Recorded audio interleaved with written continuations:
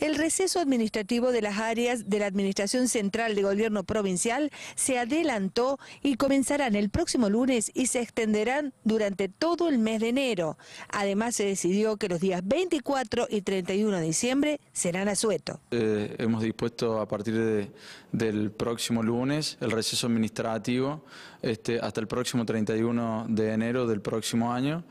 Habitualmente, como se hace todos los años, para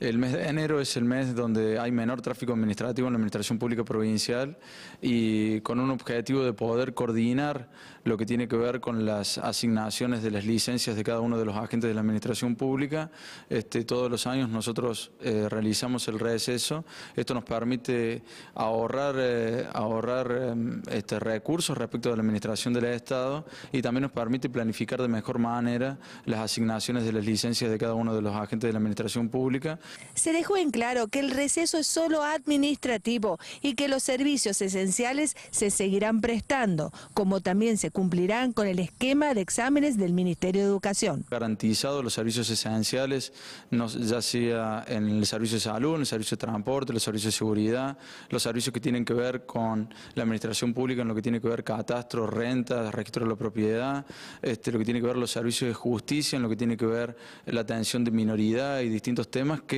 este, se van a seguir desenvolviendo de manera normal. Y hay un tema que está, que está circulando que tiene que ver respecto de eh, la, toma de exámenes para la próxima semana. Eso eh, sigue absolutamente en pie, está prevista,